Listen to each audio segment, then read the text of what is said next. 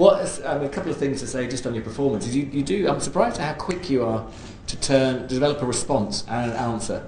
I, we do these things in conferences, and if you get a curveball question, actually it's very challenging to turn that round quickly into a critical response, which sometimes can be aligned with the question, but actually, you know, doesn't have to build opposition. So I thought actually I was quite impressed. I'm not sure my students all the time can respond and sustain a game of tennis, intellectual tennis, so quickly. So somewhat struck at that.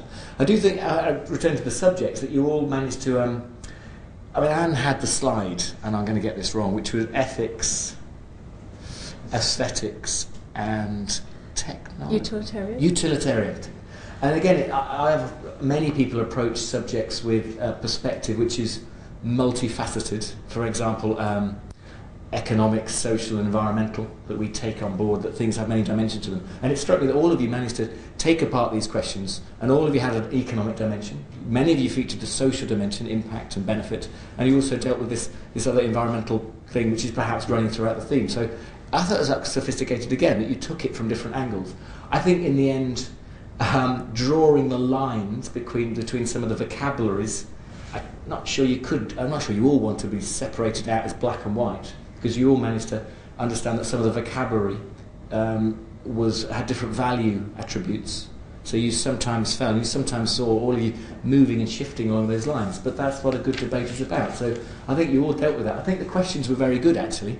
I know that was Maggie's idea, whoever's idea, but they seemed to hit you right in the middle of something which isn't easily sorted out. Evidently, re- the response is going to be grey. And I thought you sustained a, a response to that through some quite complex interrogation, really. So Oh, well done. Thanks very much. Thank you. And Anne? Well, fortunately, Chris has said most of the things first, so I don't have to think of very much to say. Um, I, I, I, thought you all did a splendid job. Um, one thing which I thought was really nice was that everybody participated, and um, I'm quite used to running seminars in, in, university, and you tend to find that one or two people say most things, and most people say very little. But it was nice to hear that everybody participated, and you were willing to ask questions, and, and actually some really, really good questions. So that was great. Um, I, I, I, would certainly um, reiterate the comment about things being shades of grey. In, in the real world, they often are. And virtually everything you think about is going to be shades of grey. And there are no easy answers to conservation type issues.